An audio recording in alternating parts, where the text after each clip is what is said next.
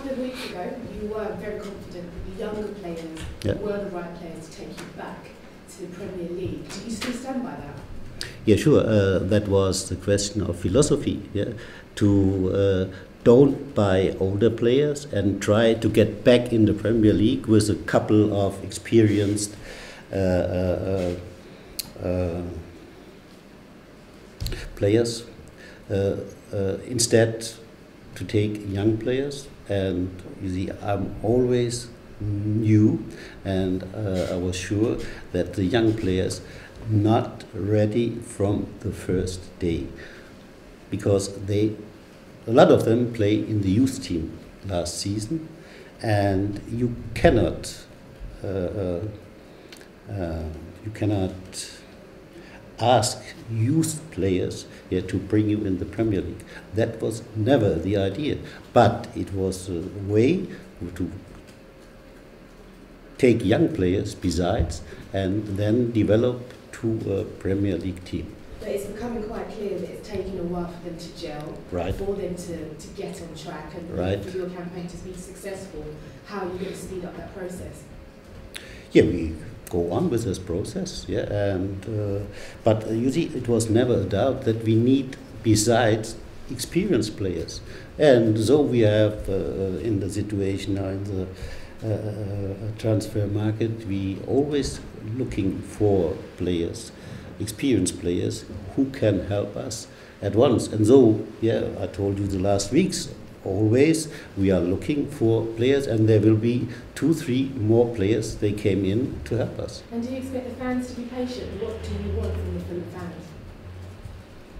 Yeah, not only uh, I want only that they are supporting the team uh, because uh, uh, we have not good results, I know, but the players are uh, they're very ambitious and they worked hard for that, and uh, now they need the support from the fans, and uh, if they get them, I'm sure we will uh, go on. And so the last game on Tuesday has shown us, yeah, that was the first step. I agree with you. It was not a, a very important victory. More important is tomorrow against Cardiff for us, I'm sure. But it was the first step, and we have won the first game in this season, and so I'm sure that we will be more confident tomorrow against Cardiff. Felix, looking at Cardiff, will Gábor Király go straight into your squad? Pardon? Gábor Király, the goalkeeper? Uh, at the moment, he uh, has no permission, so I don't know. Uh, if he gets the permission for tomorrow, he will part of the squad. What's the injury to Scott Parker? He rolled his ankle at, Yeah. at Brentford. Will he be fit? I think so. Yeah, I think he will be fit tomorrow. And is Fotherin likely to play, or is he more long-term injury? Oh, Mark will. Uh, um, we are missing tomorrow. Yeah, he will not able to join us, and uh, at the moment we don't know. I hope he will get in next week, but it may be last a little bit longer. One of the things that John Liner did say um, was that there- was too much running and you were working the players too hard. Now, when you first arrived, some of your old players in Germany said similar things, but it was only a couple out of thousands that you've coached. But does it worry you that the players you've had at Fulham think that? Yeah, you see, why? Do me a favor. Why you don't take your phone? Yeah, and why you don't call, for example, uh, Raúl? Do you know Raúl? I don't know him personally, no. No, you see, it was a player from Spain. Yeah, and he, he was very successful. Yeah, he scored the most goals in the Champions League ever. I ask him, why, why do you ask me? Yeah? Or ask maybe if he's too old for you, maybe ask Rakitic. He's not so old. Yeah, he's playing now for Barcelona. Yeah, he was a player for me a few years ago. Why you don't ask him? One player who, who does seem to be enjoying your, your training is Ross McCormack. Um, he's lost some weight now. How much of a big influence can he be on, on getting Fulham off the bottom of the table and perhaps even further up it now?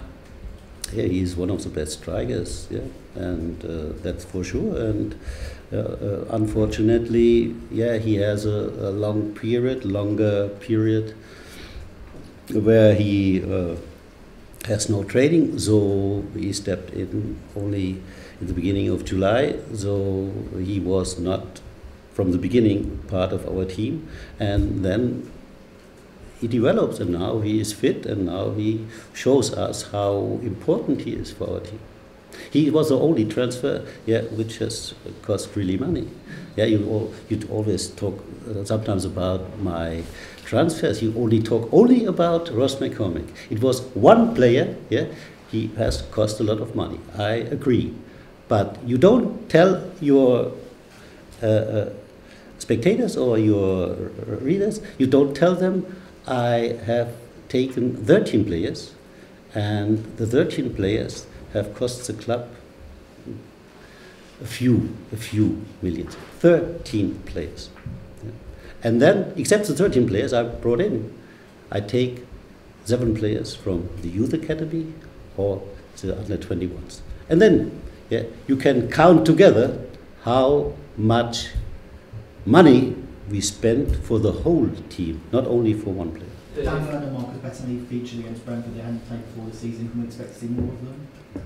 Yeah, sure. Yeah, uh, I was very pleased with his performance uh, at Tuesday, and yeah, I'm glad with him. So I hope uh, it is the start of yeah his uh, performance at Fulham.